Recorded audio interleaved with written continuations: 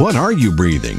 At Air Quality Services, we've cleaned over 7,000 systems right here in southern Idaho. We have the experience, expertise, and the equipment to take great care of the system that carries the air that you and your family breathe.